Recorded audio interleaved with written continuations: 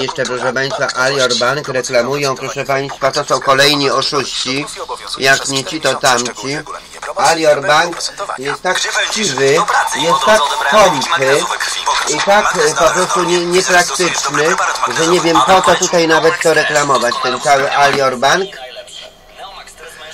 Najlepszy jest Eurobank. Jak Państwo pójdziecie do Eurobank, to Państwo wszystko załatwicie. A w tym Elior Bank to będą Was prześwietlać. Wszystkie ciotki Wasze muszą poznać, ile macie sa samochodów, ile samochodów nie macie. No i po co to dziadostwo komu potrzebne? Po co? Po co to dziadostwo? Oni chcą wprowadzić jak kij w mrowisko, ten Alior Bank, proszę Państwa, sytuację tutaj no, świata katolickiego Polski, a ale no to jakie to są skutki? Ludzie niektórzy wchodzą, potem wychodzą. Byli, proszę Państwa, ludzie z Alior Bank, w Eurobank, taka czarnula, piękna dziewczyna mówiła, szczerze, że e, przyszli do Eurobank z Alior Bank i powiedziała, że oni tak powiedzieli, że no nie umywa się, nie umywa się, nie umywa się Alior Bank, jest wspaniały i wszystko mogli e, ci ludzie załatwić. Właśnie wyszli z Alior Bank, czy tego jest bardzo dużo, Boże, no na BGŻ Paribas. BGŻ Paribas. Już Państwo widzą. Tak samo oni tak działają jak ta reklama, proszę Państwa, oszustystycznie, że zarobki mają zarobki. Autopromocja, autopromocja, reklamują, czyli kłamią, 24. Napisz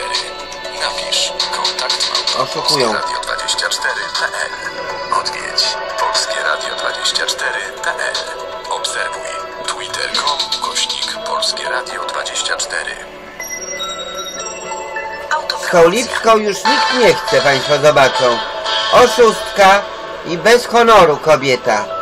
Za 50 groszy, jak się dowiedziała, że tu ma do odebrania jakieś pieniądze, dostała więcej Tu Polskie Radio 24 zbliża się 12.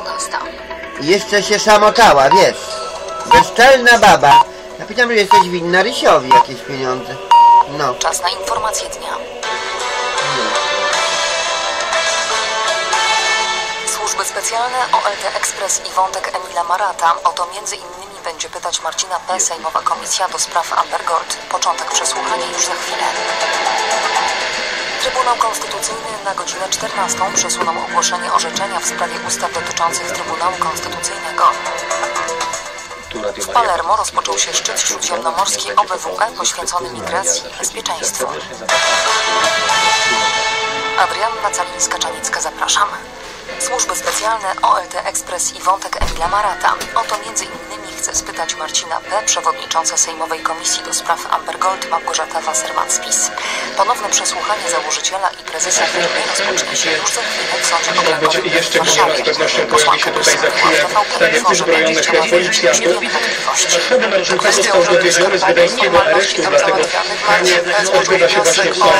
Posłowie zamierzają dziś kontynuować wątki z czerwca, bo to właśnie wtedy Marcin pierwszy raz stawił się przed komisją. Wtedy zdecydował się odpowiadać na większość pytań, no i z moich informacji wynika, że dzisiaj również będzie odpowiadał na większość postawionych mu pytań. Dzisiaj sejmowi śledczy wiedzą więcej, a od czerwca teściowa Marcina P. usłyszała zarzut prania brudnych pieniędzy właśnie w sprawie Amber Gold. A co przyniesie dzisiejsze przesłuchanie? Będziemy do tego wracać w kolejnych faktach. Z Warszawy Patryk Michalski. Siedem uczelni publicznych chce otworzyć kierunki lekarskie, między innymi w Warszawie i Wrocławiu. Obowiązki tych uczelni czekają na ocenę komisji akredytacyjnej i na rozpatrzenie rozwiązań sprawy zdrowia oraz możliwości uzyskania traktatów teraz naszych doktor Mariusz Pieczarski. Marcin P. po raz pierwszy złożył zeznania członkami Wieku, Komisji Śledczej średnia 28 wieku czerwca. specjalistyko 53 Zeznał lata. między innymi, To ilu że więcej medyków udałoby się wykształcić na. Dzień dobry. Nawet pół tysiąca, tylko niepubliczne uczelnia studiowcze liczy, że na nowym kierunku lekarskim studia zacznie 70 osób.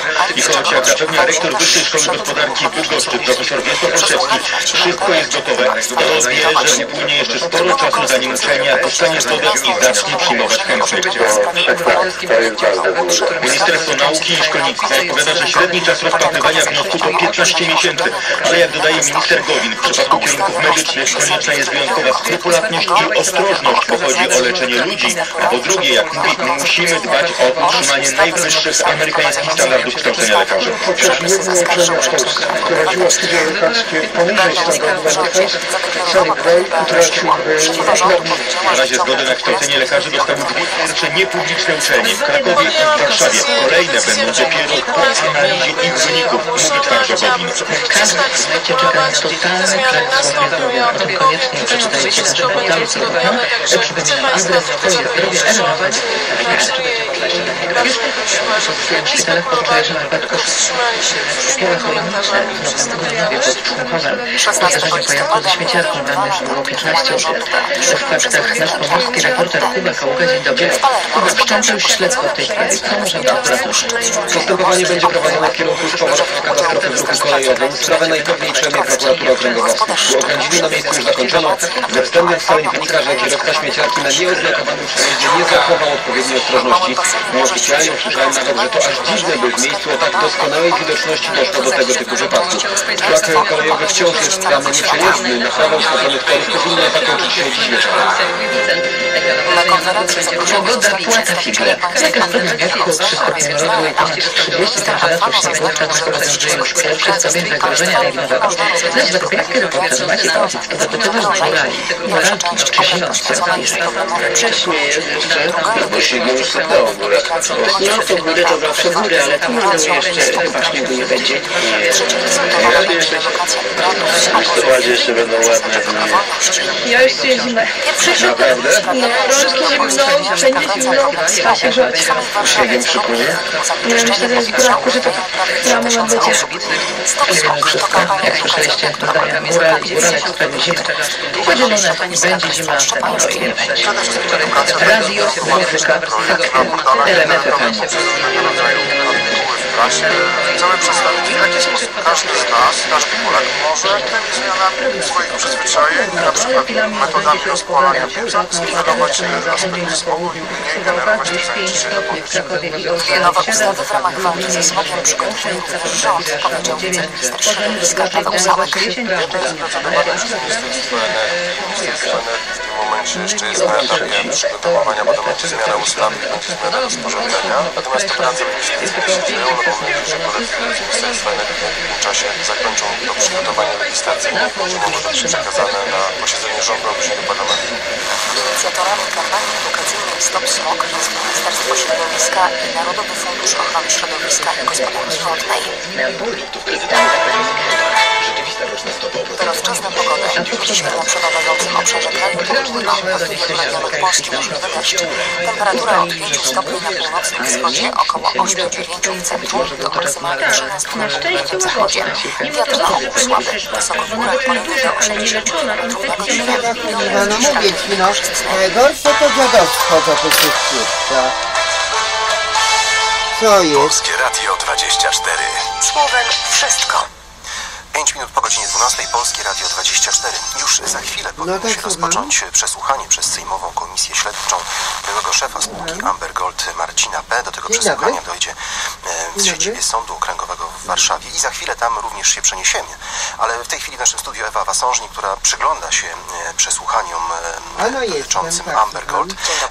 Jakich pytań, jakich wątków możemy się dziś spodziewać? To pewnie będzie kontynuacja tego, z czym mieliśmy do czynienia 28 czerwca. Wtedy mm, Komisja Śledcza do spraw Amber Gold po raz pierwszy przesłuchiwała Marcina P., założyciela Amber Gold. No i w, tam pojawiło się kilka mm, tych wątków, o które pewnie dzisiaj będą posłowie dopytywać, bo wtedy to przesłuchanie nie zostało ym, zakończone. Zabrakło czasu, aby pogłębić e, pewne sprawy. No i przecież cały czas trwały też przesłuchania innych świadków y, od czerwca do dzisiaj. Które przynosiły, zmieniały naszą wiedzę na temat Amber Gold? które przynosiły i zmieniały wiedzę na temat e, zależności e, poszczególnych podmiotów e, z Marcinem P. i z Amber Gold. Ym, Tutaj na pierwszy plan wysuwa się Paweł, Paweł Adamowicz, czyli prezydent Gdańska. Przypomnijmy, że po jego zeznaniach przewodnicząca Komisji do spraw Amber Gold Małgorzata Wasserman nie wykluczała nawet konfrontacji z Marcinem P. My słyszymy z tych wypowiedzi członków Komisji Ambergold, o czym, y, o co chcą dzisiaj pytać e, Marcina P. To są właśnie te związki e, z politykami, z lokalnymi samorządowcami w Gdańsku. Mm, To są e, jego kontakty z, Nie, ze nie, służbami nie, nie. specjalnymi, głównie z ABW, bo też są pewne nieścisłości, które mm, zapewne posłowie z Komisji Ambergold będą Ej, chcieli tutaj pana, 04, dzisiaj 080. wyjaśnić. Z Zapowiada tego co pamiętam, więc- to jeżeli chodzi o kontakty ze służbami, to w czerwcu Marcin P. zeznawał, że te informacje dotyczące zainteresowania Tak.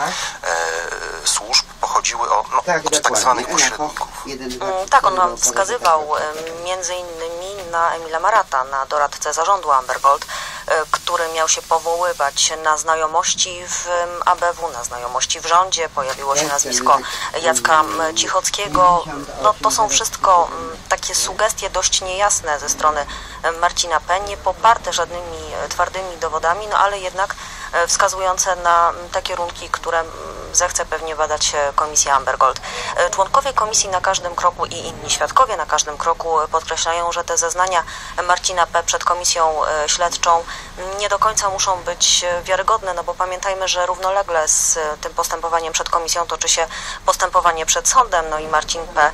e, ma w tym e, postępowaniu sądowym status oskarżonego, więc on cały czas prowadzi tę swoją linię obrony i te zeznania przed komisją śledczą, to, że on w ogóle zgodził się e, zeznawać, składa, składać zeznania, odpowiadać na pytania, e, jest również częścią tej linii obrony. Ewa Wasążnik, a my w tej chwili przenosimy się już do Sądu Okręgo- Okręgowego w Warszawie, gdzie rozpoczyna się przesłuchanie przez Sejmową Komisję Śledczą byłego szefa spółki Ambergold Marcina P.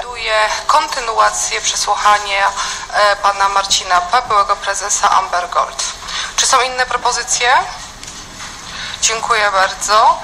E, przypominam panu wszystkie pouczenia, które mm, pana dotyczą i były panu odczytywane na poprzednim posiedzeniu. Czy jest coś niezrozumiałe, trzeba coś powtórzyć? Nie, pani przewodnicząca, wszystko jest zrozumiałe. Przypominam oczywiście o odpowiedzialności karnej za składanie fałszywych zeznań oraz prawie do składania zeznań odmowy oraz odpowiedzi na pytania. Dziękuję bardzo. Przystępujemy do przesłuchania. Niepotrzebny taki telefon, bo już Kto z państwa? reklamować BGZ Paribas. Pan poseł Krajewski, bardzo proszę. Jak te banki dopiero wchodzę i, i okazuje się, że ja wiem, że BGZ Dziękuję Pariba bardzo, pani czy Alior przewodnicząca. Bank zaczął reklamować. Świadka. Ja wiem, co to jest Alior Bank. I 16 takie głupoty, kwietnia że 2010 normalnie roku wychodzą w Gazecie Wyborczej ostatnie ukazał się posty. artykuł No. pani redaktor Magdaleny Olczak pod tytułem Pośrednik z wyrokiem za przywłaszczenie, w którym pan potwierdza, że jest pan osobą prawomocnie karaną za No sprawę tutaj poważne przesłuchania. Czy ma pan poważne... wiedzę, jak do dziennikarzy dotarła informacja Właśnie na temat coś pana koło karalności? Jest. I, e, przepraszam, jeszcze tylko jedna kwestia pewnie istotna dla prasy. Czy w związku z tym wyrokiem, który zapadł e, w sądzie w tamtym tygodniu, coś się zmieniło odnośnie podawania pana e, pełnych danych i wizerunku? E, nie, nic się nie zmieniło. To dotyczyło tylko i wyłącznie jednej publikacji. Jednej publikacji. Czy rozumiem, że pan nadal chciałby, aby używano e, Tak, skrótu pani nazwiska? Mhm, dziękuję. To wracając y, do pytania, czy ma Pan wiedzę, jak do dziennikarzy dotarła informacja na temat Pana karalności w kwietniu 2010 roku? Być może taką wiedzę miałem na chwilę obecną, nie jestem w stanie na to pytanie odpowiedzieć, bo nie pamiętam. Czy w pierwszej połowie 2010 roku podjął Pan jakieś działania na rzecz poprawy swojego wizerunku jako osoby wcześniej karanej? Z mojego wizerunku w mediach? Czy Tak, w mediach. Ja w mediach się ogólnie jako osoba nie ujawniałem. Mojego wizer mój wizerunek nie był publikowany, były tylko publikowane moje dane osobowe i nigdy żadnych działań nie podejmowałem, które miałyby służyć ociepleniu czy zmianie mojego wizerunku w mediach. Mojego jako mojej osoby. Czy w 2010 roku pan Michał Forc pomagał panu reagować na negatywne informacje medialne na temat Amber Gold? Pan Michał Forc od 2009 roku się tą kwestią zajmował całościowo odnośnie PR-u, e, reagowania, odpowiadania, pisania komunikatów, tworzenia komunikatów, e, tworzenia jakichś notek prasowych. Tym wszystkim się zajmował od 2009 roku pan Michał Forc i firma Excelo. Może niekoniecznie sam pan Michał Forc, tylko firma Excelo, którą on reprezentował. Czy pan Michał Forc lub pan wyszliście z inicjatywą spotkania, zorganizowania spotkania z dziennikarzami Gazety Wyborczej, aby wyjaśnić sytuację dotyczącą karalności. Pana karalności. Nie pamiętam teraz, yy, czy to była nasza inicjatywa Michała Forca, moja, czy Gazety Wyborczej. Nie jestem w stanie na to pytanie w dzisiejszym odpowiedzieć, bo nie Zapytam pamiętam. inaczej, czy doszło do spotkania z udziałem świadka pana Michała Forca oraz dziennikarzy Gazety Wyborczej w Złotych Tarasach w Warszawie? Bez pana Michała Forca. Było to tylko moje spotkanie i dwóch dziennikarzy Gazety Wyborczej. Czyli jak rozumiem, świadek potwierdza, że odbyło się spotkanie z udziałem trzech osób. Trzech osób. Moim e, i dwóch redaktorów Gazety Wyborczej, z tym, że był umówi- była umówiona tylko jedna pani redaktor, przyszło dwóch redaktorów. kto był umówiony? Czy świadek e, O, nie może wskazać e, imię i nazwisko osób, które uczestniczyły oprócz świadka w tym spotkaniu? Pan wy- przeczytał e, to nazwisko. Pani E, Magdalena Olczak Olczyk, była- e, Olczak miała być e, jako jedyna osoba występująca, a drugą osobą pan Maciej Samcik albo Michał Samcik. Rozumiem. A czy świadek mógłby zrelacjonować przebieg tego spotkania? Ono W Złotych Tarasach w Warszawie na temat karalności świadka. Ja ogólnie nie jestem w stanie powiedzieć, czy ono dotyczyło karalności. Ono dotyczyło ogólnie spółki Amber Gold. Karalność to była jedna tylko z małych elementów tej rozmowy. Fakt faktem ta rozmowa była bardzo pobieżna i trwała może maksymalnie 30 minut. A jaki był cel zorganizowania tego spotkania, jeżeli nie wyjaśnienie kwestii pana karalności? Na dzisiaj nie umiem odpowiedzieć na to. Był jeden z elementów, ale to było także omawiane e, działalności samej spółki Amber Gold i mechanizmu e, prowadzenia lokat. I to też było na pewno omawiane na tym, ale dokładnie ze szczegółami ja nie jestem w stanie dzisiaj tego odtworzyć, tego spotkania. kiedy doszło do tego spotkania w Złotych Tarasach? Czy po artykule, czy po artykule w gazecie pani redaktor Magdaleny Olczak pod tytułem Pośrednik z wyrokiem za przywłaszczenie, czy przed? E, w tym dniu wybuchł wulkan na Islandii, były odwołane wszystkie loty i pamiętam, że miałem problem z powrotem do Gdańska e, i to był kwiecień 2010 roku, ale dokładnego dnia nie jestem w stanie powiedzieć. To był dzień, w którym wybuchł wulkan i zostały wszystkie loty z lotniska Chopina o 20 odwołane.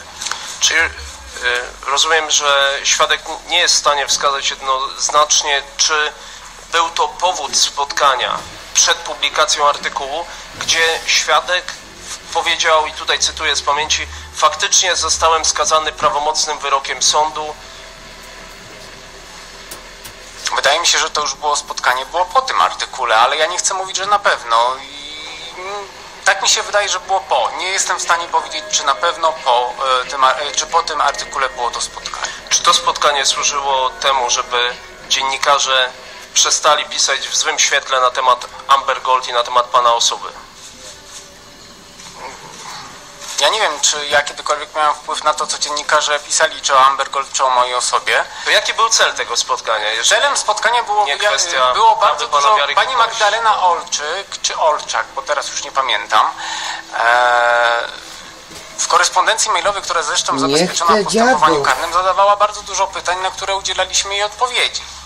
I ona część kwestii, które były poruszane w tych pytaniach, chciała poznać dogłębniej, y, zbadać bardziej i dlatego było, i tym było spowodowane głównie to spotkanie, że chcieliśmy doprecyzować kwestie, których albo ona nie rozumiała w formie pisemnej, albo e, chciała zadać jakieś dodatkowe pytania. No i to było głównym powód spotkania. Czy świadek e, podczas tego spotkania informował na temat innych wyroków e, niż multikasa, które obciążały świadka w Ja kwietniu nie- 2010 roku? Wydaje mi się, że nie, ale ja tutaj nie chcę mówić na pewno, bo nie pamiętam, po prostu ja nie pamiętam całego przebiegu tego spotkania. No, To jeszcze jedno pytanie dotyczące tego wątku. Czy w trakcie tego spotkania świadek powiedział dziennikarce, tutaj cytat, że jest tylko wynajętym menadżerem i nie ma w firmie udziałów? Nie damy Na rady. czegoś takiego nie Y, To zabawne pierwsze. Czy w jakikolwiek tak. e, W Polsce jest, proszę Państwa, wielka bieda, bo jak te banki, sposób BGŻ, Paribas, Alior Bank i te inne, tutaj się reklamują, no to one dają na duży procent ludziom pieniądze i żeby ludzie spłacali niczego 2-3 takiego razy więcej. Twoja twarz Przejdźmy 20-30 do lat. następnej Jak kwestii. będziesz wyglądał na starość? Pani spraw Danuta Misiewicz, i oni po prostu ludzi już teraz zeznała przed komisją chcą śledczą. zastrasza, zastraszać. Cytat. Człowiek Pan powinien Marcin żyć chwilą. zapewniał mnie, Po ma wiedzieć, uporządkowaną jak będzie wyglądał? Że on to ogarnia i nie potrzebuje na razie pomocy. Gdy przyszłam do Amber Gold, to byłam pewna, że będę prowadziła księgowość Amber Gold i chciałam przede wszystkim księgi. Wchodząc do systemu zauważyłam, że suma pasywów nie odpowiada sumie aktywów. Wicepremier i minister finansów Mateusz Morawiecki są to mistrz dobrej prezentacji. wszystkie dane Przez są te zreplikowane w dziewięć związku z miesięcy tym utrzymywał to nie wszystkich jest w jeszcze przekonaniu, że Czy świadek gigantyczne wydatki rządu, między innymi na 500 księgowość plus, zmniejszenie wieku emerytalnego, emerytalnego Jednocześnie- budowę armii Antoniego Macierewicza nie mają wpływu na finanse państwa. Pokrycie bieżących wydatków zapewniały przecież e, wyższe wpływy.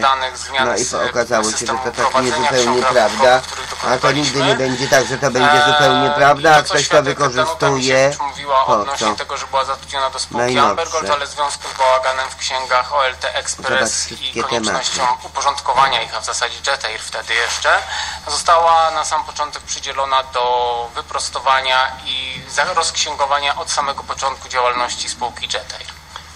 Wrócimy jeszcze do kwestii OLT Express i roli pani Danuty Misiewicz. Wyłudzili ponad 100 Czy tysięcy złotych, teraz świadek pani Danuta Misiewicz miała rację gangu twierdząc, że suma aktywów nie odpowiadała sumie pasywów? nie wiadomo W pewnych momentach, kiedy dane były kopiowane, one były kopiowane mniej więcej od czerwca 2011 roku do maja 2012 roku. Takie sytuacje mogły mieć miejsce, bo jednocześnie trzeba było korzystać z dwóch systemów księgowych, CDN Optima i CDN Comar Czy główna księgowa pani Danuta Misiewicz miała dostęp do ksiąg rachunkowych spółki Amber Gold? Tak, do wszystkiego miała dostęp. już jestem. Do wszystkich Jak, ksiąg jak i rachunkowych systemu miała Agnet, dostęp? który był powiązany z systemem rachunkowym. Świadek y, pani Danuta Misiewicz wskazywała, że miała wiedzę o zakupie złota przez Amber Gold jedynie w celach promocyjnych, a nie w celach inwestycyjnych. Jak pan odniesie się do kwestii zeznań głównej księgowej? Amber Gold, jeśli chodzi o zakup złota? Pani Danuta Misiewicz nie zajmowała się zakupem złota w spółce Amber Gold. Nie musiała mieć o tym żadnej wiedzy. Zaraz jeszcze do tego wrócimy, ale świadek pani Danuta Misiewicz, zatrudniona jako główna księgowa w firmie Amber Gold, zeznała, odpowiadając na nasze pytania, że miała poczucie, że była fikcyjną główną księgową Amber Gold. Jak pan się odniesie do tych słów głównej księgowej Amber Gold pani Danuty Misiewicz? Na pewno nie była fikcyjną księgową Amber Gold. Poza tym pani Danuta Misiewicz nie była zatrudniana jako główna księgowa Amber Gold, tylko jako dyrektor finansowy grupy Amber Gold w spółce Amber Gold. Ona miała zorganizować sobie zespoły w poszczególnych spółkach z osobą odpowiedzialną za prowadzenie księgowości i nadzorować te spółki i zakres prowadzonej księgowości. Ona była dyrektorem całego Departamentu e, Finansów, o ile dobrze pamiętam, jak on się tak nazywał, ale tutaj też się mogę mylić w tej kwestii. Czy potwierdza świadek, że główna księgowa pani Danuta Misiewicz y, podlegała bezpośrednio panu Tak, to jest prawda odnośnie spółki Amber Gold bezpośrednio mi, odnośnie spółki OLT Jeter Andrzejowi Dąbrowskiemu i w momencie rozpoczęcia przejmowania ksiąg Jackowi Łyczbie. Poza tym, jakie czynności, jakie uprawnienia miała pani Danuta Misiewicz w systemach i czym się zajmowała, jest to zapisane w systemach, które zostały zabezpieczone przez prokuraturę i tutaj jej zeznania nie pokrywają się z tym tenem. To idąc dalej tym tropem, czy pani Danuta Misiewicz faktycznie wykonywała usługi głównej księgowej firmy Amber Gold? Jeśli tak, to od kiedy? Pani Danuta Misiewicz nie wykonywała nigdy obowiązków głównej księgowej Amber Gold. Pani Danuta Misiewicz miała nadzorować osobę, którą miała znaleźć na to stanowisko w spółce Amber Gold, jak i w pozostałych spółkach grupy. To przytoczę tutaj konkretne zeznania świadka pani Danuty Misiewicz. Marcin P. mnie zapewniał, że w Amber Gold są uporządkowane księgi i niestety. I tutaj pytałem, czy odpowiadała pani jako główny księgowy Amber Gold za księgowość firmy Amber Gold. I pani Danuta Misiewicz zeznała. Kierownik jednostki odpowiada za księgi. Ja nie miałam na piśmie, jakie mam obowiązki. Miałam, dostałam obowiązki ustne, tak jak wspomniałam, drugiego lub trzeciego e, dnia pracy. Em, Czy świadek, jako były prezes Amber Gold, ma informację, że pani Danuta Dzień Misiewicz, dobry. Jako główna księgowa, wykonywała jakiekolwiek czynności jako główna tak. księgowa Amber No Gold, na przykład w lipcu taka 2012 roku. Już panu odpowiadam. Po pierwsze, pani Danuta Misiewicz podpisywała zakres obowiązków, który znajduje się w jej teczce danych osobowych, która nie została zabezpieczona przez prokuraturę, a znajduje się w posiadaniu syndyka. E, Nie ma tych dokumentów w aktach sprawy karnej, jednakże one istnieją, co potwierdziła w zeznaniach swoich pani Alicja Klugman, która przygotowywała ten zakres obowiązków. E, Po drugie, pani Danuta Misiewicz od maja 2012 roku rozpoczęła przygotowywanie zmiany systemu ewidencji e, w systemie Comarch XR w połączeniu z systemem Agnet umów e, na obrót i przechowywanie metali szlachetnych. Zmiana ta miała polegać na tym, że wycena miała się nie odbywać tylko i wyłącznie wartościowo, ale wartościowo-ilościowo. Przygotowała pełne e, zestawienia, schematy księgowań i zakres tych czynności. Firma Insoft Consulting przygotowała przez okres chyba 3 czy 4 miesięcy przygotowywała wdrożenie tego systemu. On miał po prostu zautomatyzować to, co było wykonywane ręcznie. Miał spowodować, że będzie robił automatycznie system, przenosił dane z systemu Agnet do systemu Comarch XL i całą Cały zakres tego w formie księgo, ujęcia księgowego przygotowała pani Danuta Misiewicz. Ten zakres został zatwierdzony na moje polecenie przez biegłego rewidenta, który miał e, badać księgi spółki. E, nie pamiętam teraz nazwiska. E, Został on zatwierdzony i zaakceptowany jako zgodny z przepisami ustawy o rachunkowości. Został przekazany firmie Insoft Consulting e, i cały zakres tego wdrożenia, łącznie z tym, co ustaliła pani Danuta Misiewicz, zostało przez nią zatwierdzone i sporządzone w dokumencie analiza wdrożeniowa rozwiązania e, Comarch XL modułu handel, o ile dobrze pamiętam, że on tak się nazywał, w połączeniu z systemem Agnet. I w tym zakresie były, były rozpoczęte czynności wdrażające, które jeżeli by spółka dalej istniała, zakończyłyby się w okolicach grudnia 2012 roku zgodnie z harmonogramem. Czy pani Danuta Misiewicz miała dostęp do konta Amber Gold?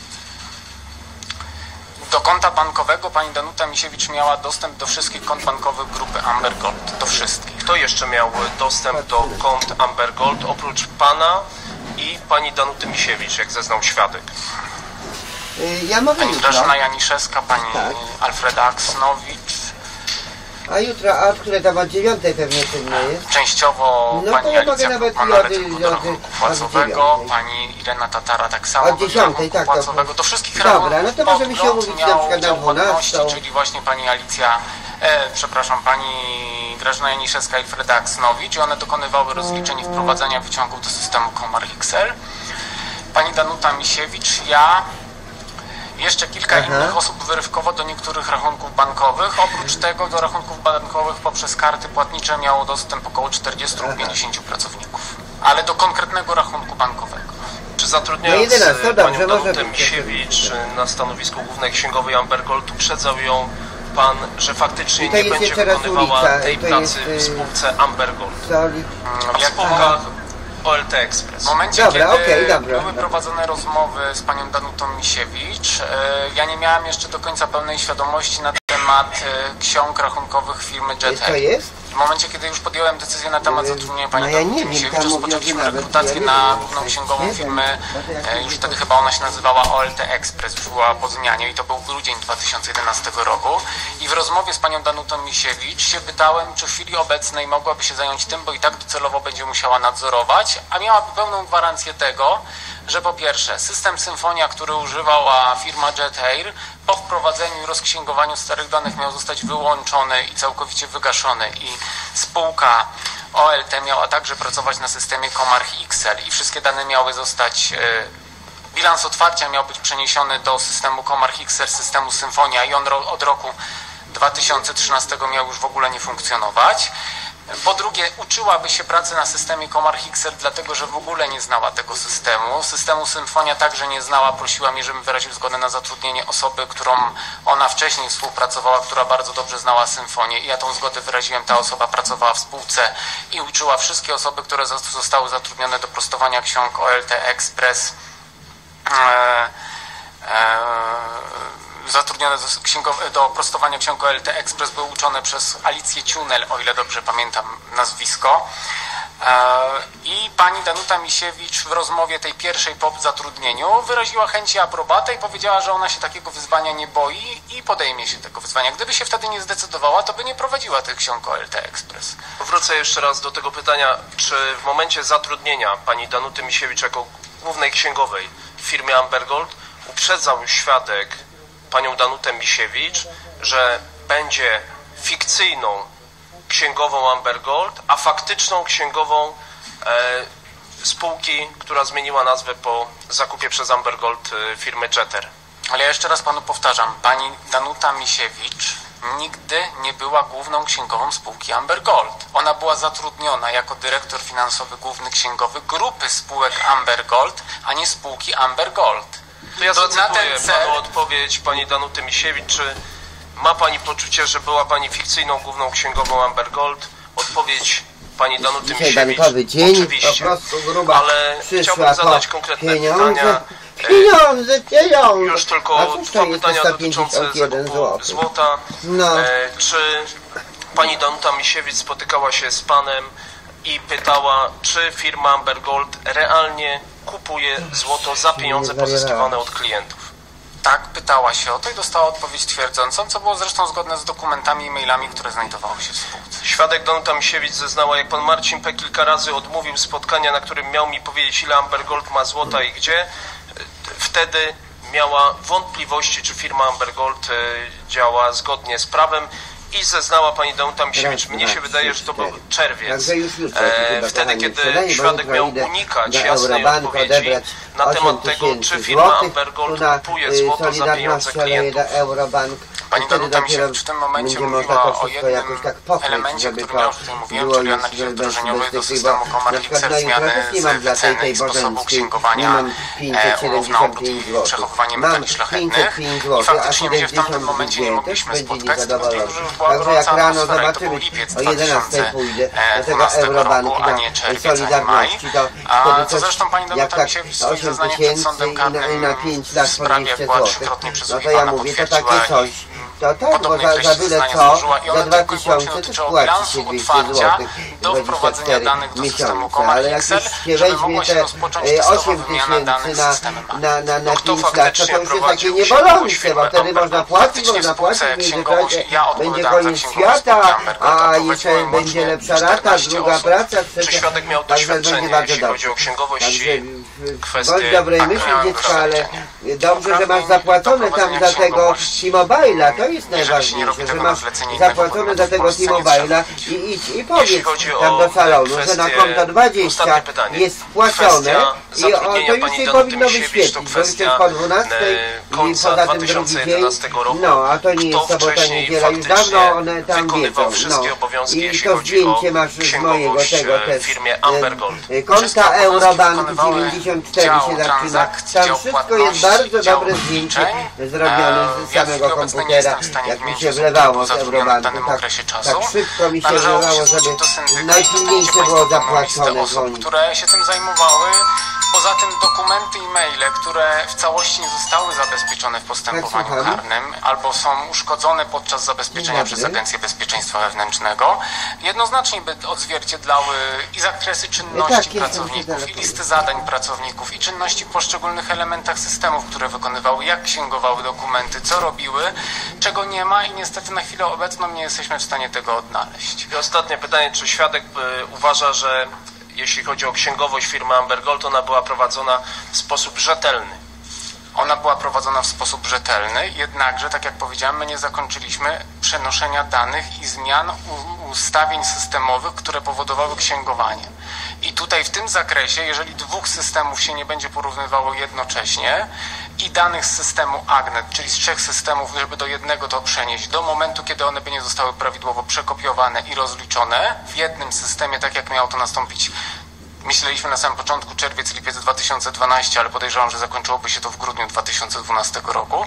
Te dane należy stwierdzić, że były prowadzone w sposób niezgodny z ustawą rachunkowości, ale to nie znaczy, że całościowo nie dało się sporządzić na ich podstawie prawidłowego bilansu. To czy kiedykolwiek informował Pan Panią Danutę Misiewicz, że firma Ambergold nie kupuje złota za pieniądze klientów i dlatego nie posiada faktur, które potwierdzałyby zakup złota, platyny lub srebra zgodnie z umowami, które Państwo zawieraliście z klientami. Faktury za zakup złota, sprzedaż, odkup złota z klientami, jak i z firm zewnętrznych znajdowały się w spółce i zostały zabezpieczone w postępowaniu karnym. Jaka to była wartość?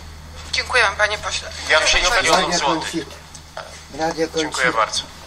Wartość, od, wartość faktur odkupu złota wynosi w chwili obecnej z tego, co było sprawdzane w ostatnim okresie czasu na podstawie załącznika 3D do opinii, który jest elektroniczny, na około 394 miliony złotych. To ja takie mam pytanie uzupełniające. Proszę pana, czy pani Misiewicz zwracała panu kiedykolwiek uwagę, że przelewy, które są wykonywane przez pana, są źle opisane? Była sytuacja odnośnie wzajemnych rozliczeń pomiędzy spółkami, e, ale nakazałem jej to wyprostować sobie z paniami z działu płatności, żeby było to w jednym jak i w drugim, w jednej jak i w drugiej spółce tożsame. Miała problem z rozszyfrowaniem chyba trzech czy czterech przelewów. Zostało to odnalezione zidentyfikowane, ale to nie było, że one zostały źle opisane, tylko ona e, w jednym systemie nie mogła odnaleźć tej samej płatności w drugim systemie nie potrafiła tego znaleźć. I ustalały sobie, jak to zrobić na przyszłość, żeby to było prawidłowe. Proszę pana, a jak zaksięgować w takim razie mm, przelew, nie wiem, na milion, dwa czy trzy, który ma w tytule na przykład zasilenie? To zależy, czego on dotyczył i na jakiej podstawie został wykonany. No ale to, wie pan, jeżeli pan wykonuje przelew, a pisze w tytule zasilenie, to dlatego pytam, jak to zostało zaksięgowane i czy zwracała panu uwagę, e, co z tym zrobić? Żebym mógł powiedzieć, ja potrzebuję zobaczyć konkretny przelew i ko- konkretne potwierdzenia, wtedy powiem, czego to dotyczyło, z jakiego rachunku wyszło, bo to ma znaczenie niestety. Proszę pana, problem jest odwrotny, to znaczy niewiele nie jest faktur, które są opisane tak, że można z nich się zorientować. Nie Pani Przewodnicząca, Przepraszam, nie faktur przelewów, z których wynika cokolwiek. Większość to jest zasilenie, pożyczka, ewentualnie depozyt, który można próbować lub nie Jest podłożyć po, złoty. Pytam, czy księgowa panu zwracała uwagę, że to trzeba jakoś zaksięgować? Pani Przewodnicząca nigdy nie zwracała takiej uwagi, że trzeba to jakoś zaksięgować. Poza tym nie zgadzam się z Panią, że i faktury i przelewy są nieopisane. One są nieopisane w takiej tak formie, jakie zostały przygotowane przez prokuraturę i Państwu przekazane. One są opisane w systemie wielki. Comarch XL, co na eksperymencie procesowym w Sądzie Okręgowym. Gdańsku chyba 17 października 2016 roku zostało wykazane. Proszę pana, a proszę I są prawidłowo opisane zgodnie z ustawą o Proszę pana, czy rachunkowości. pan rozmawiał z księgową albo sam, jeżeli e, ustalał to, jak, e, jak taka czynność, na przykład jak zasilenie na kwotę, nie wiem, miliona, półtora miliona powinna być zakwalifikowana pod względem podatkowym i jakiej wysokości jest podatek i w jakim terminie płacony? Na tę kwestię na pewno w jakimś momencie rozmawiałem z panią Danutą Misiewicz. Mm, Na dzień dzisiejszy nie jestem w stanie odpowiedzieć, czy e, czego to dotyczyło i to była, czy to była kwestia umowy inwestycyjnej, która była zawarta pomiędzy czterema spółkami z grupy OLT, czy to była kwestia podwyższenia kapitału w spółce OLT Express. Nie jestem w stanie na dzień dzisiejszy tego pana, a ja powiedzieć. pana pytam o to, jak pan podatkowo e, kwalifikował te Raz, przelewy, które pan robił? Raz, dwa, trzy, cztery. Także. Podatkowo, ale podatkowo, jeżeli to było zwiększenie kapitału zakładowego, był od tego odprowadzany podatek od czynności cywilnoprawnych. Jeżeli to była pożyczka, to była zobowiązana spółka grupy odprowadzić od tego także podatek od czynności cywilnoprawnych. Proszę pana, z podwyższeniem kapitału i z pożyczką jest może mniejszy problem, dlatego że to gdyby ktoś chciał ten podatek zapłacić, to by pewnie wiedział, jak to zrobić. Ale ja pana pytam, jak w takim razie zaksięgować i stwierdzić, czy jest podatek, czy nie, od takiego przelewu, który mówi na przykład zasilenie. To są milionowe przelewy. No, ale ten przelew To był, jest jeden przelew, to jest grupa. był przelew opisany w systemie Comarch XL w Ja formie pana pytam- elektronicznej. ja I od tego będziemy wiedzieć, czego ten przelew dotyczył. Jeżeli to chodziło w tytule przelewu zasilenie, to w całej analityce tego, całej analityce tego przelewu w opisie będzie miała Pani wskazane wszystkie poszczególne elementy tego przelewu i czego to dotyczyło, opis tego Proszę przelewu. pana, to może zróbmy konkretny przykład. Przelewa pan na konto y, OLT regional na przykład 4 miliony złotych pisząc zasilenie. W takim razie z jakiego tytułu, czy kto zapłacił podatek, w jakiej wysokości? Czy państwo się, czy pan się zastanawiał nad tym kiedyś? Tak. No i w, tak, proszę powiedzieć, to w takim razie jak jest taki przelew na zasilanie na 4 miliony, to proszę powiedzieć, jak został podatkowo zakwalifikowany, jakiej wysokości podatek, w jakim terminie został odprowadzony. Ale jak pani mi tak mówi, ja nie jestem w stanie powiedzieć, czego ten przelew dotyczył. Ja bym potrzebował zobaczyć w ten przelew w systemie wprowadzonym systemu Comar Excel i tam będziemy mieli wszystko stwierdzone i będziemy mogli Nie to powiedzieć. nie bardzo, dlatego że jeżeli jest pani Misiewicz księgową e, w spółce OLT i dostaje od pana przelew, to ona musi go zaksięgować i ona ewentualnie powinna złożyć deklarację podatkową.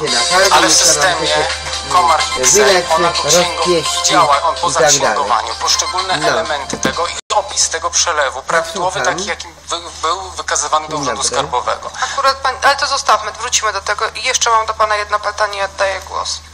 Proszę pana, czy prawdą jest, słucham, że w styczniu 2012 roku Tak, tak, samoloty tak, tak, tak, tak. OLT oraz załoga OLT brała udział w ćwiczeniach antyterrorystycznych organizowanych między innymi przez Tak. Agencję Bezpieczeństwa Wewnętrznego w ramach przygotowania na Euro 2012?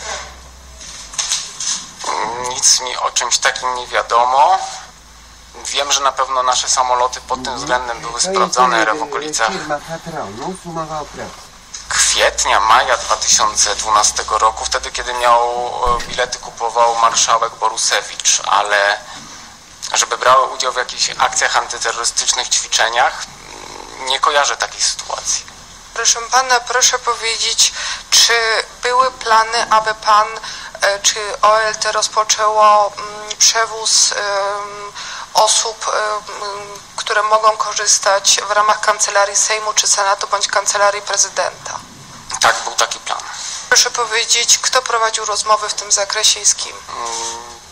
Nie jestem na dzień dzisiejszy w stanie powiedzieć, kto prowadził te rozmowy. Prowadził je ktoś ze spółki OLT Express. Mógł być to Rafał Orłowski, ale tutaj nie chcę mówić, że na pewno on się zajmował sprawami handlowymi. Proszę powiedzieć, kiedy powstał pomysł, że moglibyście państwo e, wozić posłów i senatorów?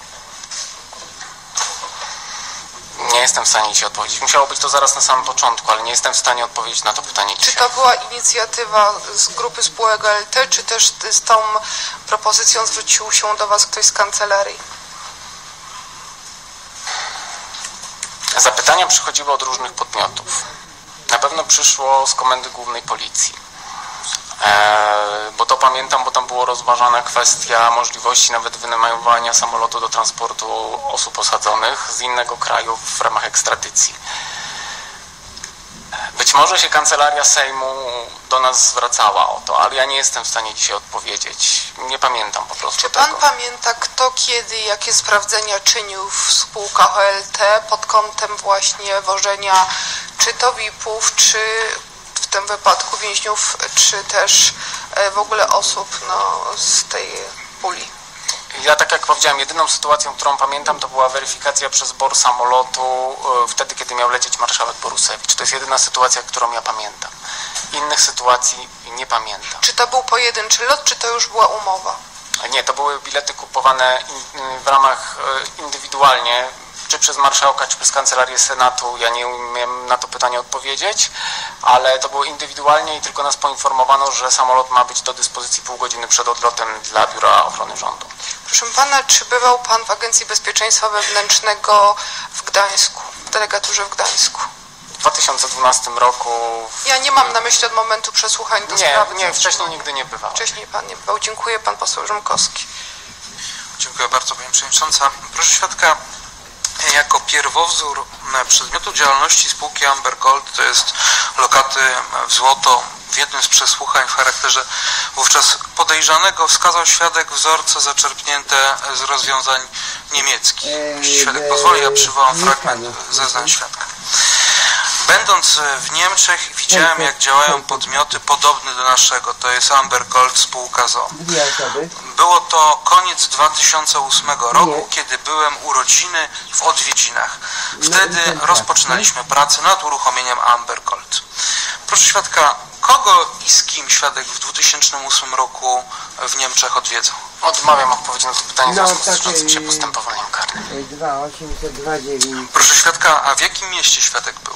Odmawiam odpowiedzi na to pytanie w związku z toczącym się 29, postępowaniem tak, tak, karnym. tak. E, Na jakiej spółce niemieckiej świadek opierał późniejszą spółkę spółkę Amber Gold? Odmawiam odpowiedzi na to pytanie w związku z tyczącym się postępowaniem karnym.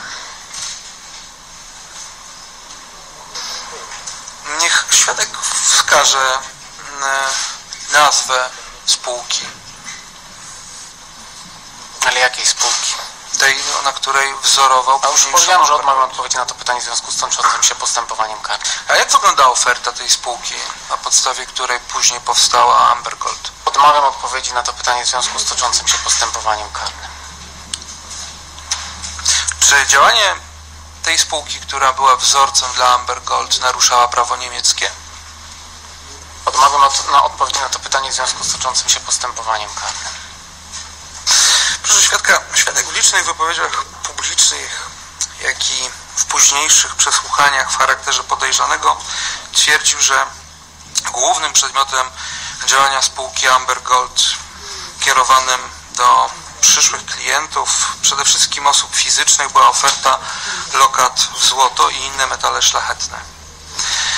Zapewniał świadek, że każdorazowo do każdej lokaty spółka dokonywała za- zakupu złota i to od początku działania, to jest od 2009 roku. E, czy świadek nadal to podtrzymuje? Tak, podtrzymuję to i jest to zgodne z stanem faktycznym i zabezpieczonymi dokumentami w spółce. I danymi w systemie, i danymi Nie, nie, w to załącznikach elektronicznych biegłych będzie. Restentian. Nie, nie, tak wiem. Czy, czyli świadek podtrzymuje swoje twierdzenie zawarte e, w wyjaśnieniach w charakterze podejrzanego i dzisiaj, e, że zawierane w formie umów e, lokaty jako inwestycje w złoto lub inne metale szlachetne nie nosiły znamion oszustwa. Tak, podtrzymuję. Zatem niech świadek wskaże, kiedy spółka Amber Gold zawarła pierwszą umowę dotyczącą lokaty w złoto. Na dzień dzisiejszy nie jestem w stanie to powiedzieć. To był 2009 rok, końcówka 2009 roku. Jaka była wysokość tej lokaty? Nie jestem w stanie odpowiedzieć na to pytanie. Nie, pamię nie pamiętam po prostu. Kiedy i w jakiej wysokości spółka przyjęła pierwszą wpłatę z tytułu zawarcia umowy w metale szlachetne? Nie pamiętam, nie jestem w stanie odpowiedzieć na to pytanie. To ja świadkowi przypomnę i również opinii publicznej przedstawię. Zawarcie umowy i przyjęcie pierwszych e, wpłat w kwocie 5 tysięcy złotych oraz 40 tysięcy złotych z tego tytułu nastąpiło w dniu 20 października 2009 roku. Świadek kojarzy teraz? Być może tak, możliwe. Kiedy spółka Amber Gold dokona pierwszego zakupu złota tytułem zawierania umowy lokaty w złoto? Zgodnie z umową e, zawartą z klientem miał obowiązek, o ile dobrze pamiętam, w ciągu 30 dni e, e, roboczych. Albo kalendarzowych, już teraz nie pamiętam. 30 dni spółka od momentu wpłaty miała na zakup i wystawienie certyfikatu klientowi. Jaka była wartość zakupionego złota za pierwszym razem? Mm, Ja Odpowiada tej kwocie, którą przywołałem świadkowi? Zgodnie z tabelą kursów Amber Gold i zgodnie z warunkami umowy odpowiadała tej kwocie. Jeśli 20 października 2009 roku zawarta była ta umowa, to do kiedy zgodnie z umową powinna być dokonana transakcja zakupu Jeżeli to było 30 dni kalendarzowych, to do 30 listopada. Jeżeli było 30 dni roboczych, no to wtedy gdzieś do połowy grudnia. 30 dni roboczych. Tak. Od poniedziałku do piątku liczone. Tak. Ja nie umiem teraz powiedzieć, czy to były robocze, czy kalendarzowe. Na pewno 30 dni. Wzorce umów się zmieniały w okresie około 11 razy. Mhm. Pierwszy zakup y, złota odnotowany jest jest- 3 grudnia 2009 roku. Spółka na pewno się zmieściła w terminie. Zakup czy dostawa? Bo to jest pytanie. Czy jest to dokument, czy to jest dokument sprzedaży w momencie dostarczenia do spółki wystawiony, czy to jest dokument potwierdzenia zamówienia i zapłacenia za złoto, które było A w tym jaka była momencie praktyka, przechowywane? proszę świadka, bo to świadek wie, a nie komisja. Ja nie wiem, jak, o jakim dokumencie pan mówi, na podstawie Nie, której jest ta data. Pytam o praktykę zakupu złota. Jak to Złoto było kupowane w takiej ilości, jakie było było wymagane. U kogo? Po kolei. E, Ja na to pytanie odmawiam odpowiedzi w związku z toczącym się postępowaniem karnym. Macie to Państwo w dokumentach, możecie to sprawdzić. Ja to potwierdzam, co jest w dokumentach i w opinii, opinii, opinii biegłych odnośnie zakupu złota. Czyli było kupowane e, w inwestycjach alternatywnych. Ja odmawiam odpowiedzi na to pytanie, tak jak powiedziałem. E, Ale proszę kontynuować. Tak, właśnie zaczynam, właśnie zaczynam. Zgodnie z umową, klient podpisując umowę, umowa się składała z czterech dokumentów. Dyspozycji sprzedaży, potwierdzenia zawarcia, które stanowiły umowę na obrót i przechowywanie metali szlachetnych, regulaminu oraz ogólnych warunków depozytu towarowego o określonym numerze, które szczegółowo regulowały zasady wyceny towaru. Zgodnie z tą wyceną spółka Amber Gold codziennie publikowała w dni robocze tabelę kursów Amber Gold, która znajdowały się kursy skupu, sprzedaży oraz kurs średni złota dla towaru alokowanego niesortowalnego i alokowanego sortowalnego. Niealokowany niesortowalny był w momencie, kiedy trwała umowa i klient nie mógł z niego de facto korzystać, a mogła z niego na podstawie chyba paragrafu 6 regulaminu korzystać spółka w określonej ilości i wartości, która odpowiadała dziennym zmianom i różnicom kursowych.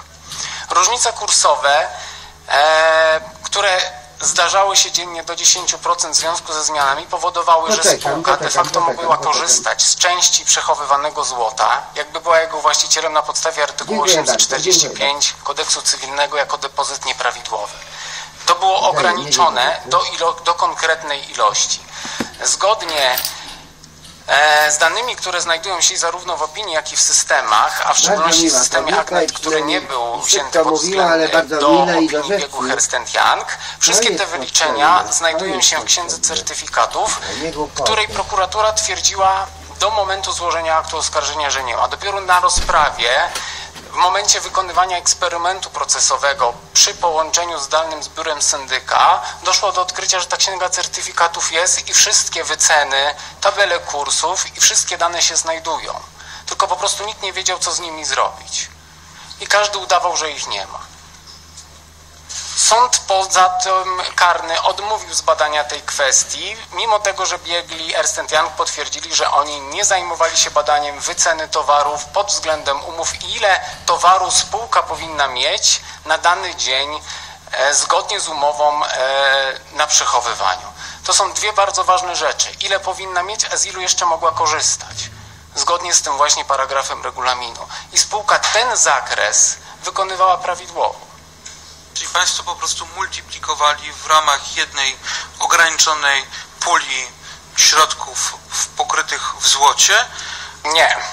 Pan nadal chyba nie rozumie. Jeżeli pan wpłaca 30 tysięcy złotych do spółki Amber Gold, tabela kursów jest wyceniana dla towaru niealokowanego, niesortowalnego jako e, mm, złoto za jedną jednostkę umowną, gdyż, na, gdyż towar niealokowany i sortowalny zgodnie z regulaminem stanowi udział w części towaru alokowanego sortowalnego. 1 gram odpowiadał 100 jednostkom umownym. Klient nabywał jedną jednostkę umowną za 100 zł, czyli za 30 tysięcy nabywał 300 jednostek umownych. Dobrze mówię? Tak, za Co- 30, Ile to było za w złocie? I odpowiadało to 3 cenom gramy. rynkowym? 3 gramy w złocie kupował. I jeszcze oprócz tego powstawały różnice kursowe, na których spółka zarabiała. I to wszystko było jasno, wyraźnie, czytelnie opisane. Wszelkie wzory znajdowały się. Poza tym spółka prowadziła bloga, na których wyjaśniała te kwestie. Znajdują się trudne pytania w aktach sprawy, gdzie klienci zadawali pytania na ten temat. Większość świadków w chwili obecnej, jak przychodzi na salę rozpraw, mówi, że ich w ogóle to nie interesowało. Ich nie interesowało to, ile złota będzie, ile ich interesował tylko zysk, a nie warunki umowy. I to jest główny problem, że nikt praktycznie nie zapoznał się z warunkami umowy i chyba myślał, że nie trzeba się z tym zapoznawać i że będzie mógł zarabiać w nieskończoność, tak? Ale to nie było tak. Tak, to, to Przecież było my cały tak, czas tłumaczyliśmy, było szkolenie dla e, pracowników przygotowane z rynku finansowego, z którego oni byli szkoleni, jak klientom informować, ile powinno być inwestowane, w jakie rodzaje, jakie są niebezpieczeństwa, źródła, nie tylko w lokatach złota, ale we wszystkich produktach finansowych. Ja się nie zgadzam z zarzutem popełnienia Ale niepokorna, nieskromna, nieukładna. Za 300 tysięcy Samo kupował zło. 3 gramy Samo złota. zło. Za 30 Baba tysięcy klient kupował zło. 3 gramy złota w formie inwestycji, tak? Mniej więcej, ja tutaj to podaję jako przykład zupełny. Jest to abstrakcja od danych rzeczywistych, bo dane rzeczywiste nie zostały zbadane, to od razu mówię. Ile złota Zakonnice są kupione normalne. przez cały okres funkcji? Ja odmawiam odpowiedzi na to pytanie w związku z tyczącym się zakon... Ale są na to dokumenty. Poza tym pan musi jeszcze jedną rzecz pamiętać, że w momencie, kiedy się lokata kończyła, te złoto, które było przechowywane na rzecz jednego klienta, było odkupowane przez spółkę. Amber Gold i, prze, i sprzedawane kolejnemu klientowi. Przecież spółka Amber Gold y, nie kupowała 8 za 800 milionów y, złota, mając lokat w na momencie zakończenia na około 400 milionów. Przecież y, poza tym jest jedna jeszcze jedna bardzo ważna rzecz. Zgodnie z systemem Agnet prokuratura twierdzi, że lokat zostało zarwa- zawartych na 850 milionów. Zgodnie z systemem Agnet i zgodnie z ilością umów lokat zostało zawartych na kwotę prawie 1,5 miliarda złotych, a niewypłaconych jest tylko 390 parę milionów złotych. To jest ta zasadnicza różnica, która prokuratura w ogóle nie badała i nie wskazała w akcie oskarżenia. A skąd ta różnica, skąd ta rozbieżność zdaniem świadka? Nikt nie badał danych systemu Agnet. Jedyne dane, które zostały poza tym, e, w akcie oskarżenia pojawiają się kwoty, na przykład, że lokata była 20 tysięcy, a wynosi tylko 2 tysiące złotych. Prokuratura w ogóle nie badała aktu oskarżenia pod kątem formalnym. Biegły stwierdził w opinii Young jako wpłata na lokatę zwrot przelewu, bo klient go nie odebrał i prokuratura go brała, jako że klient założył kolejną lokatę. Ja mam z tego tytułu dwa zarzuty postawione na te same pieniądze. Są też sfałszowane dyspozycje sprzedaży, na przykład przez klientów, które zostały złożone do postępowania upadłościowego i postępowania karnego. Jeżeli Państwo myślicie, że syndyk cokolwiek weryfikował i sprawdzał, jeżeli widzi, że dwa dokumenty różnią się od siebie wzorem, to on brał za właściwy ten dokument, który był na korzyść wierzyciela, a nie na korzyść pozostałych wierzycieli, którzy uczciwie do tego podeszli. Ja się zastanawiam, dlaczego Państwo też nie badacie na przykład działalności syndyka, która też jest dość śmieszna. Jeżeli syndyk nigdy nie zapoznał się z 99 tomami akt sprawy karnej, w których był proszony przez ABW do, do oględzin akt, w których były dokumenty związane z lokatami, znalazł 250 dyspozycji sprzedaży mniej więcej, które zmniejszały sumę wierzytelności i tym klientom, wierzycielom zabrał te pieniądze z listy wierzytelności, a pozostałym prawie 1500 odpuścił i stwierdził, że tego nie ma, a było to zabezpieczone w postępowaniu karnym, bo nie umiał obsłużyć systemu Agnet, a osobę, która się tym zajmowała i obsługiwała zgodnie z jej zeznaniami w sprawie cywilnej, w której jestem pozwanym, zeznała, że syndyk ją od razu wyrzucił i nie chciał z nią rozmawiać, no to jak my tutaj mówimy o uczciwości w stosunku do tych osób, które zostały to potrącone? To się zaczyna robić w chwili obecnej taka trochę paranoja. To prawda. Proszę świadka, Nie, nie robię paranoi, panie pośle. proszę świadka, A Ja to są powiedziałem, jako, tak. ja powiedziałem przykład, panie pośle, i to jest przykład, który trzeba... Komentarze. Nie Ale może ja panu wejść jeszcze raz do domku, bardzo proszę, nie e, może wejść do domku. baba, E, bo za Czy gruba spółka Ambergold i za z tytułu zawartych No trudno, umów nie e, lokaty robić w metale szlachetne realizowała przysługujące klientom opcje odbioru złota w naturze? Tak realizowała. E, No to niech świadek wskaże, jaka jest. Była jedna zrealizowana taka czynność, bo tylko jedna czynność została przez klienta dokonana w czasie działalności spółki. Cztery czynności miały zostać dokonane po wprowadzeniu zarządu przymusowego, jednakże e, ABW zabezpieczyło złoto i zarządca przymusowy nie dokonał wydania złota.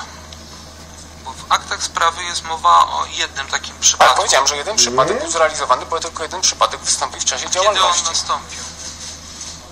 Jak świadek pamięta. 2011 rok, do, początek 2012. Dokładnie 3 listopada 2011 roku. Proszę świadka, e, ja- jakie zatem pokrycie w złocie miały lokaty zawarte przez klientów e, Zgodnie z umowami- dacie, kiedy pierwsza osoba Zgodnie z umowami i było wszystkie prawidłowe jest pokrycie w złocie. Srebrze i platynie.